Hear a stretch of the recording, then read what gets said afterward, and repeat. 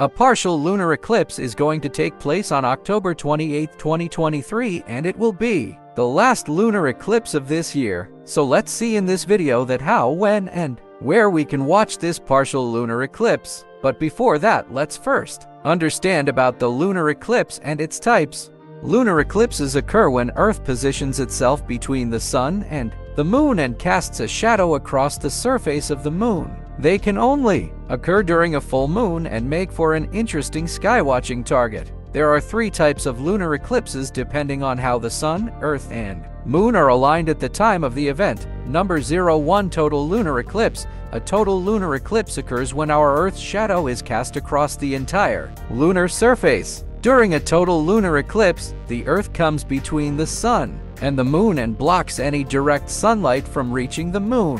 Hence, the sun casts the Earth's shadow on the entire moon's surface. Number 2 Partial lunar eclipse. During a partial lunar eclipse, only part of the moon enters Earth's shadow, which may look like it is taking a bite out of the lunar surface. Earth's shadow will appear dark on the side of the moon facing Earth. How much of a bite we see depends on how the sun, Earth, and moon gets aligned.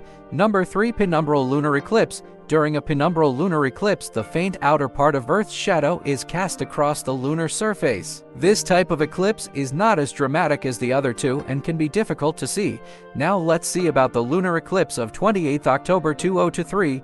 The lunar eclipse of October 28, 2023 will be a partial lunar eclipse. It will be visible over parts of Europe, Asia, Australia, Africa, North America, North or East South America, Pacific, Atlantic, Indian Ocean, Arctic, and Antarctica. Exactly when the lunar eclipse will be visible depends on where you are located. So if you are in any of these regions, then you will definitely see it. And this is the 3D animation of this partial lunar eclipse, which is created by timeanddate.com.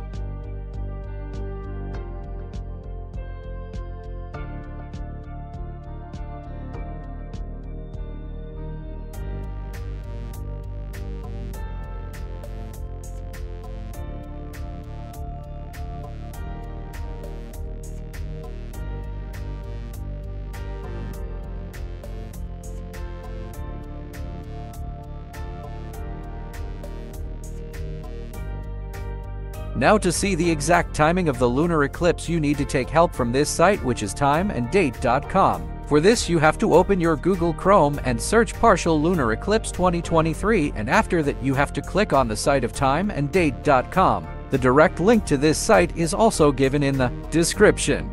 And after that you have to search for the bar where you can enter your city name or the name of your location like this. Once it is done, you will see the complete details of the partial lunar eclipse that is when it will begin, when it will reach its maximum, and when it will end at your location.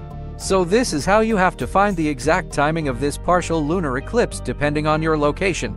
Lunar eclipses are among the easiest skywatching events to observe. To watch one, you simply go out, look up, and enjoy. You don't need a telescope or any other special equipment. However, binoculars or a small telescope will bring out details on the lunar surface moonwatching is as interesting during an eclipse as it is at any other time. So that's it for the partial lunar eclipse of 28th October. So if you liked this video then please like and share it and do subscribe the channel for more such updates like this on astronomy, astronomical events and astrophotography tutorials.